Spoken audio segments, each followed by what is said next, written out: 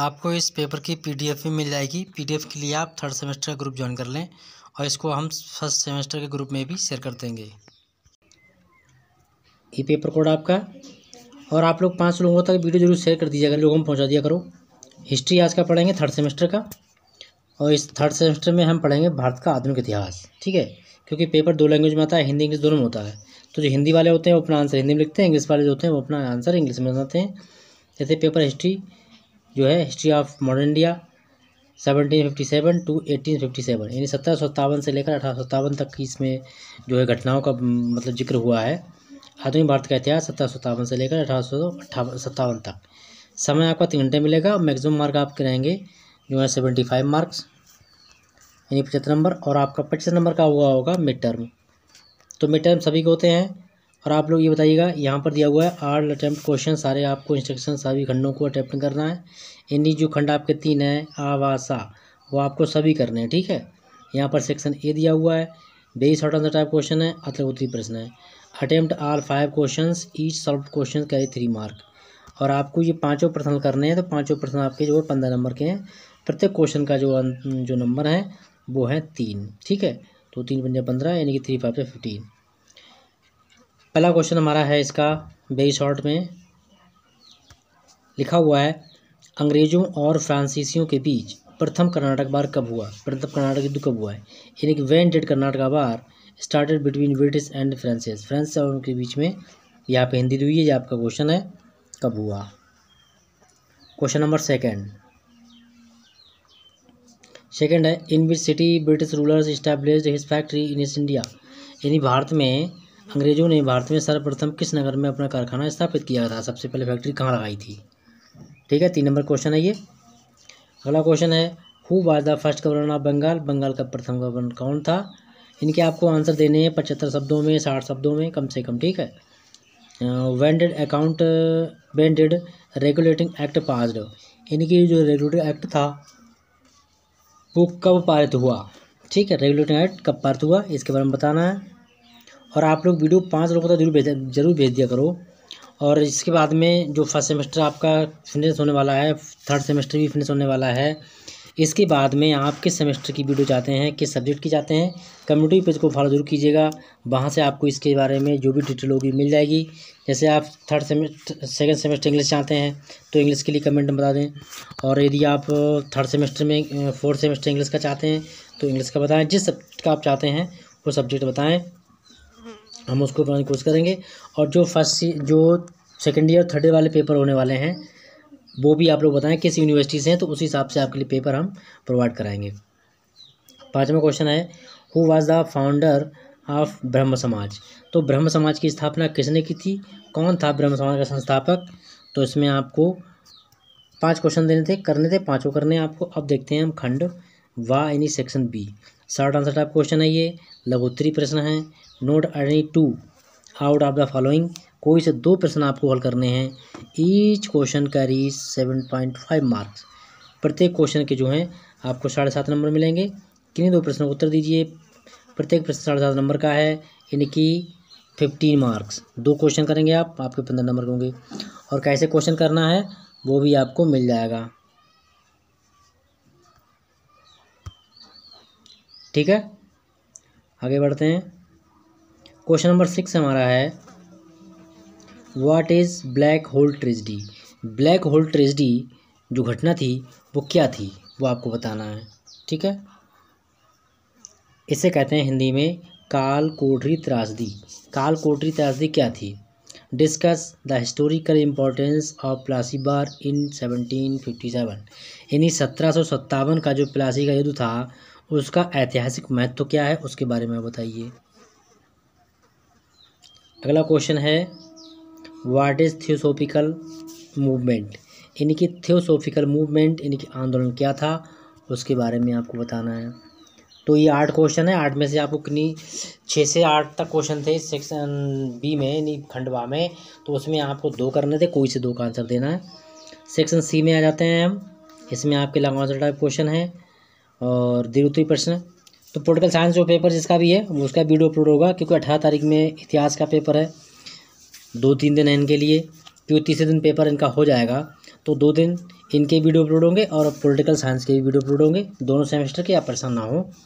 और जो आपका पेपर है न्यूट्रिशन फ़ूड हाइजीन वाला, उसका भी वीडियो बन गया अपलोड होने की देरी है। थर्ड सेमेस्टर का भी जो ह्यूमन वैल्यू वाला पेपर है, वो भी अपलोड हो जाएगा। बस आप लोग वीडियो को अपने दोस्तों से शेयर करते रहिएगा। ज़रूर ज़रूर, क्योंकि सबके पास ये पहुँच जाए कि पेपर का प्रारूप किस तरीके से होता है। Note attempt all the questions out the following each question carry fifty mark सभी प्रश्नों का उत्तर देना है। प्रत्येक प्रश्न जो है पंद्रह अंकों का है। कितने का? पंद्रह अंकों का है। इसीलिए एक सेकंड जो सेक्शन सी है, वो हुआ आपका फोर्टी फाइव मार्क्स यानी पैंतालीस नंबर का सेक्शन है आपका। तो क्वेश्चन आप छोड़ें ना। क्वेश्चन सारे हल करने की कोशिश करें। भले ही चाहे आपका क्वेश्चन आधा ही क्यों ना हो, क्योंकि अगर आधा भी क्वेश्चन करेंगे तो आपको पाँच नंबर मिल जाएँगे। और यदि छोड़ दिया तो आपके जो सात नंबर है, वो सात के सातों नंबर गायब। तो Lord Clive was the founder of the British rule India. Describe the statement. मतलब स्टेटमेंट को आपको व्याख्या करनी है। लॉर्ड क्लाइव भारत में ब्रिटिश शासन का संस्थापक था। इस कथन की आपको पुष्टि करनी है, या व्याख्या करनी है, या फिर उसको प्रूव करना है। ठीक? और अगर आपको ये नहीं आ रहा तो दूसरा कर सकते हैं आप लोग। राजा Ram Mohan Roy, was the first person in India, in of Indian renaissance, describe it. इन्हें जो राजा राम मोहन राय थे, वो पहले भारतीय थे, जिन्होंने पुनर्जागरण का पक्ष रखा, या फिर राजा राम मोहन राय भारतीय पुनर्जागरण के अग्रदूत थे। इस तरीके से क्वेश्चन आपका बन जाएगा। फिर आपका क्वेश्चन है अगला। ग्यारह क्वेश्चन है इसमें। Describe the internal reform Lord Dalhousie इन्हें डलहौजी के द्वारा जो आंतरिक सुधार किए गए थे, उनके सुधारों की आपको व्याख्या कर रही हैं। इन्हें डलहौजी के आंतरिक सुधारों की व्याख्या कीजिए। यहाँ सुधार तो सबने किया, लूटा सबने है, इंडिया को जितने भी गवर्नर आए। लेकिन डलहौजी की सबसे बड़ी नीति थी हड़प नीति, ठीक है? वो हड़प नीति अपनाता था। मतलब जिसके यहाँ कोई बेटा नहीं है, बेटी नहीं है तो उसका जो राज शासन था, वो अपने अधीन कर लेता था, ठीक है? इसलिए ज़्यादा फ़ेमस हुआ जी। तो बाकी सभी अंग्रेज़ों ने हमें सुधार किया। सती प्रथा में भी काफ़ी अंग्रेज़ों ने सुधार किया। राजा राम मोर्रा इनके अगर थे। तो इस तरीके से महापुरुष रिलेटेड क्वेश्चन आपके मिलते रहेंगे। और अधिक से अधिक वीडियो को शेयर कीजिएगा। और आप लाइक बिल्कुल नहीं करते हैं तो प्लीज़ लाइक भी कर दीजिए। और इस प्रकार से क्वेश्चन जो है आपका अगर आपको ये नहीं आ रहा है तो आप दूसरा क्वेश्चन कर सकते हैं। What is the second Anglo Mysore war? In eighteen forty and fourteen forty five forty nine यानी अठारह सौ चालीस से अठारह सौ उनचास तक का जो युद्ध था, कौन सा? मैसूर का दूसरी युद्ध। तो इसकी व्याख्या कीजिए, क्या था?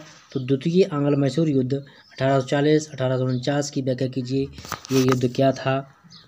तो इसके बारे में बताना है। अगर आपको क्वेश्चन पढ़ने में दिक्कत आ रही है तो आप जो मेरा चैनल दूसरा है, हेमेंद्र सिंह लेक्चर, ठीक है? हेमेंद्र सिंह लेक्चर्स पर आप जाएँगे तो आपको मॉडर्न हिस्ट्री नाम की प्ले लिस्ट मिलेगी। आप प्ले लिस्ट ओपन कर लीजिएगा। वहाँ पर जितने मैंने क्वेश्चन समझाए हैं, इन्हीं आपके जो थर्ड सेमेस्टर जो भी क्वेश्चन आ रहे हैं, वहाँ से आपको अच्छे समझ में आ जाएगा क्योंकि मैंने वहाँ पर डिटेल में समझा दिया है। चाहे आपका प्लासी हो, चाहे आपका मैसूर हो, चाहे ब्लैक हो ट्रेजडी हो, ठीक है? कुछ भी हो, सारे वहाँ बने हुए वहाँ आप देख सकते जाके तो बहुत अच्छे तरीके से आप पेपर हल कर लेंगे। तो क्वेश्चन नंबर हमारा इलेवंथ ग्यारहवा है लास्ट क्वेश्चन है। तो एक बार इस चैनल पर जाकर आप प्ले में ज़रूर विज़िट करें और थर्ड सेमेस्टर के ग्रुप में मैंने इसका लिंक दे दिया है चैनल का, वहाँ से जाके आप देख सकते हैं। Modern history of India Bharat का इतिहास नाम से प्ले लिस्ट है, ज़रूर उसे देख लीजिएगा कि अगर आपकी मॉडर्न हिस्ट्री में अगर तैयारी नहीं हो पाई है तो। बहुत इंपॉर्टेंट प्ले लिस्ट होगी आपके लिए वो, और प्ले को आप शेयर भी कर दीजिए दोस्तों में, और मैं भी जो ग्रुप हमारा थर्ड सेमेस्टर का है, उसमें शेयर कर दूँगा प्ले का लिंक भी दे दूँगा, और आप वीडियो ज़रूर ज़रूर शेयर करिएगा तो लिखा है वहन डिड विधेयक था, वो सत्रह सौ चौरासी में पारित हुआ। तो इसकी क्या विशेषता थी? इसको आपको समझाना है। तो यहाँ पर दे दिया है कि Pitt's India Pitt's India act eighteen seventy four कब पारित हुआ, इसकी व्याख्या कीजिए तो इसके बारे में बताना है ठीक है? अगर आपको ये नहीं समझ में आ रहा तो आप दूसरा क्वेश्चन हल कर सकते हैं। क्योंकि जो नाइन टेन एलेवन क्वेश्चन है, इनमें सभी में आपका ऑप्शनल क्वेश्चन दिया हुआ है। What is the background of Buxar war ये इसका भी वीडियो प्ले में मिल जाएगा मॉडर्न हिस्ट्री की। जो मैंने अभी चैनल बताया है, उस चैनल का लिंक डिस्क्रिप्शन में आपके B A third semester group में दिया हुआ है। वहाँ से आप लिंक को टच करेंगे, आप सीधे चैनल पहुँच जाएँगे और चैनल पहुँचने के बाद उसे सब्सक्राइब भी कर लीजिएगा और अपना जो आपको प्ले लिस्ट मैंने बताई है, भारत का आधुनिक इतिहास, मॉडर्न हिस्ट्री, वो प्ले लिस्ट ओपन करके आप वहाँ ये सारे क्वेश्चन देख सकते हैं, सारे क्वेश्चन में डिटेल में समझाएँ, वहाँ से आपको इसका आंसर भी मिल जाएगा। तो डिस्क्राइब इट इसकी आपको व्याख्या करनी है।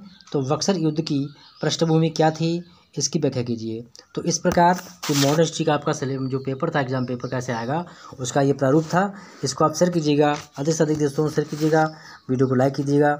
और सत, आपका अठारह तारीख में पेपर है, इसके बाद में आपके दो वीडियो और आएँगे, जिनमें आपके लॉन्ग क्वेश्चन होंगे शॉर्ट क्वेश्चन होंगे और वन लाइनर क्वेश्चन भी उसमें सबमिट होंगे। ऑब्जेक्टिव का क्वेश्चन नहीं आएँगे, मैंने बता दिया है।